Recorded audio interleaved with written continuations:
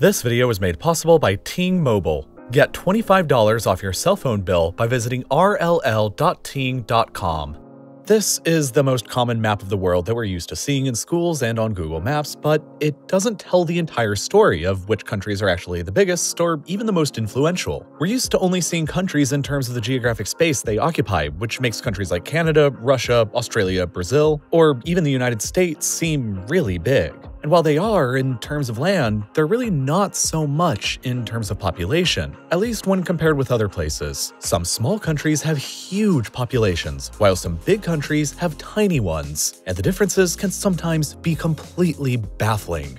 For example, this small island in Indonesia called Java is home to more people than the entire country of Russia, and yet it's difficult to conceptualize this on just a mere geographic map like we're currently looking at right now. In order to visualize how big or small a country or place is in terms of people, we have to look at a radically different map like this one that was created by Visual Capitalist back in 2018. The link to this map is going to be linked down in the description if you want to go check it out and see for yourself. Each country's size on the map is directly proportional to its human population. They are all made up of squares, and one square is equal to 500,000 people. The map contains a total of 15,266 squares that truly show where all of the world's 7.633 billion people live across the world like you've perhaps never seen before. Let's start by taking a look at North America, and specifically, the tiny strip that is now Canada. Canada's 74 squares are indicative of her population of only 37 million people, which is vastly smaller than either the United States or Mexico.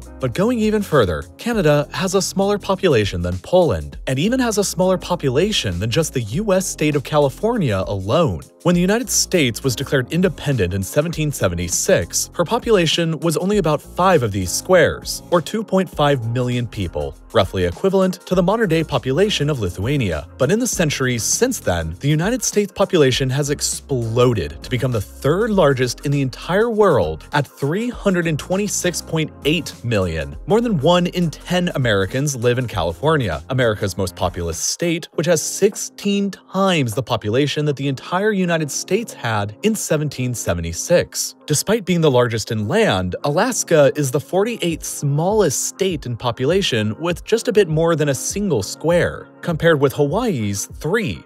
Down south, Mexico has nearly three times the population of Spain and is by far the world's largest Spanish speaking country. Central America and the Caribbean have a lot more people than a lot of us probably think as well. Guatemala's population alone is roughly equivalent to the Netherlands, and combined, Central America's population is also greater than Spain's. Brazil is the Jupiter of the South American continent. Brazil's population is nearly the same as the rest of South America's population all combined, and while she began as a colony of Portugal, Brazil's population is now over 20 times larger than Portugal's. But even as huge as Brazil's population is when compared with the rest of South America, it's only the world's sixth and soon to be seventh largest. The country that will soon be overtaking Brazil is just across the Atlantic over in Africa. Nigeria. Nigeria's population has ballooned to 196 million people today, making it by far the most populous state of Africa. Nigeria's population is larger than Germany, France, and Spain all combined, and it's projected that by the end of the 21st century, Nigeria will overcome Brazil, Pakistan, Indonesia, and even the United States to become the world's third most populous country. But other parts of Africa are fascinating under a population map too. Let's begin with Libya, which which seems to get a lot of attention in the news and is a very well known place, despite only having a population of 6.5 million people, which is less people than even live in Serbia. Put another way, Libya has about the same population as the US state of Minnesota, but has about seven times more land. But that's not even the most shocking country here, because both Namibia and Botswana have tiny populations relative to their geographic size too. Namibia is roughly the size of Pakistan, but with the population of Albania, while Botswana is bigger than France, but with about as many people as Slovenia. South Africa's population dominates the entire southern third of Africa, and it's pretty easy to see how the top three African economies are Nigeria, Egypt, and South Africa based simply on population. While not in the top three African economies, Ethiopia is also considerably larger than most people think it is, with a population of 107.5 million, roughly half of Brazil's population. While smaller than Ethiopia, Uganda also has a much larger population than its geographic shape on the map would suggest, at 44.3 million, which is more people than South Sudan, Chad, the Central African Republic, and Rwanda all combined, and roughly equivalent to the population of Spain. It's also interesting to note that today, the center of the Arab world's population isn't even in the Middle East, but North Africa. The Arab states of North Africa are home to 242 million people, while the Arab states of the Middle East are only home to 164 million in comparison. Iran is Western Asia's most populous country with 82 million people, significantly more than double the population of Saudi Arabia. Despite being incredibly influential on the world stage and having a lot of land, Saudi Arabia is actually a fairly small country population-wise.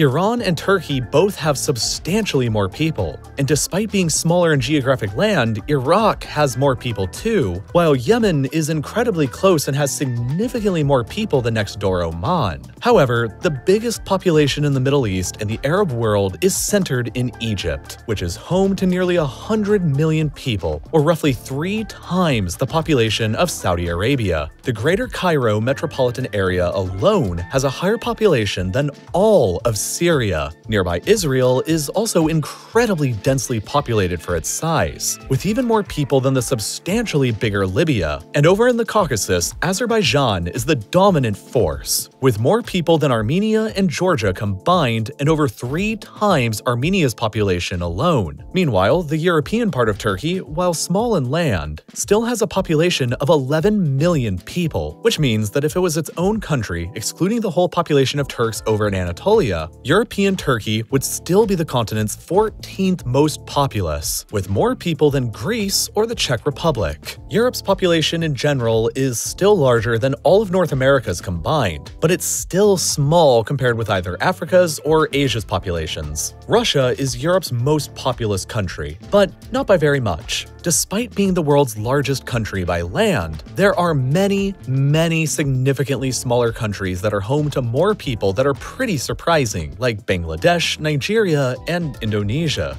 European Russia itself is only home to 110 million people, and Europe's next most populous country is Germany, which is home to 82.3 million people, which is about 75% of European Russia's population. Germany and Turkey have very similar populations, while the Netherlands is massively crowded for its size. The 17 million people who live in the Netherlands is more than the combined populations of both Sweden and Norway. Scandinavia itself is incredible incredibly sparsely populated. Denmark has more people than Norway, while all of Scandinavia combined has less people than the Low Countries of the Netherlands and Belgium. It's also clear to see how England's population is able to dominate the rest of the United Kingdom and even Ireland. England's population is dramatically larger than Scotland, Wales, and Ireland all combined. In fact, it's roughly five times larger than all the other countries in the United Kingdom put together. This means that universal opposition to something in Scotland, Wales, and Northern Ireland could be easily ignored if just a moderate majority of the English population supports it. Further, the island of Great Britain has more than nine times the population of the island of Ireland. To put all of that into perspective, England's population is comparable to Italy, while Scotland is equal to Slovakia. Wales is equal to Lithuania, and Northern Ireland is equal to just Slovenia. Combined, the UK's population is even larger than France, while England on its own has nearly 10 million more people than all of Spain has, despite being much smaller in land. In the grand scheme of things, it's clear to see that Western Europe has a substantially larger population than Eastern Europe has. Western Europe is home to 402 million people, while Eastern Europe is home to 345 million. But that isn't including the Asian part of Russia, which, while on a geographic map seems huge, seems equally tiny on this population map since it's only home to 34 million people. To put that into perspective, there are more people living in a city than living in the entirety of Asian Russia, and that city is Tokyo, home to over 38 8 million people. The sheer scale of Tokyo as a city is difficult to comprehend, but I'll do my best. Besides just the Asian part of Russia, there are more people who live in Tokyo than live in Australia, North Korea, or even Canada. Put in another way, Tokyo's population is very similar to the entire combined population of Oceania, which is half a percent of the entire human population in one city. Japan's population as a whole is similar to the population of Russia, while right next door, South Korea's population is more than double that of North Korea's. And right next door to there is the world's most populous country, China, home to 1.415 billion people. China is home to over 18% of the human population, and it absolutely dwarfs almost every other country around it. Mongolia and Asian Russia just appear as tiny little blips right next to it. Mongolia is the world's 18th biggest country by land area, roughly the same size as Iran, but with a population of only 3 million people. The Beijing metropolitan area in China alone has roughly the same population as the entirety of North Korea, while Hong Kong might be 163 times smaller in land area than Sweden is. But their population sizes are incredibly similar. In fact, Hong Kong's population is even bigger than a lot of countries are, like Norway, Denmark, Bulgaria, and even Libya. This is all in a space that's roughly the same size as Luxembourg is in Europe. China has a higher population than all of Europe has combined times two. But not far behind that is India, the world's second most populous nation that is rapidly catching up to China with 1.354 billion people. When combined, more than one out of every three humans alive on the planet live in either China or India. You could fit the entire population of the United States into India four times over again and still have room left over for more. India's most populous state, Uttar Pradesh has the combined populations of Russia, Canada, Australia, New Zealand, and Austria. Bangladesh has a really, really huge population for her size at 166 million people, which is more than Germany, the UK, and the Netherlands all combined. But the world's most populous Islamic country is Indonesia, with nearly 267 million people. To put that into perspective, if you subtract Turkey and Egypt from this equation, then Indonesia has a higher population than the entire rest of the Middle East combined. Inside of Indonesia is the island of Java, which is the world's world's most heavily populated island, and as mentioned previously, Java's population is even greater than that of all of Russia's. And finally, we arrive at Australia, an entire continent that's only home to less than 25 million people. There's a lot of ways to put that small population into context. Two US states have a greater population than Australia, California, and Texas. There are three cities in the world that currently have a higher population than the entire Australian continent. Tokyo, Delhi, and Shanghai, with many more like Sao Paulo, Mexico City, Cairo, Mumbai, and Beijing rapidly approaching. Australia is insanely underpopulated for its size, and there are